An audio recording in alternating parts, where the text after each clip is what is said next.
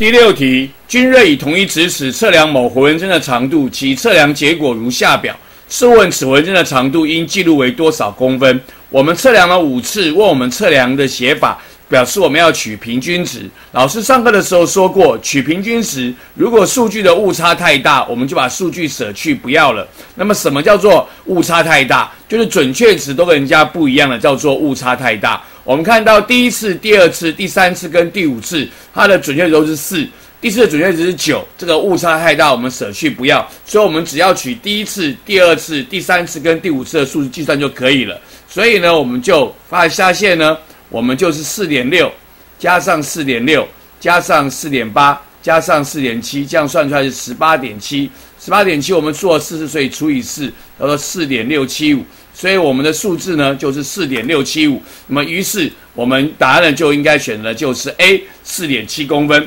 事实上呢，我们可以不用计算，我们就知道答案呢应该是 A。原因是因为我们舍去了第四次之后，我们发现每个数都是四点多，所以答案呢就不可能是猪五点六公分。那我们看到它的测量的写法都是四点六、四点六、四点八、四点七，它只有取一位小数，所以不可能是两位小数或者三位小数，所以不可能是 B 或者是 C。于是我们就知道不需要经过计算，我们也知道答案应该选的是 A 四点七公分，就是第六题我们的答案 A 四点七公分。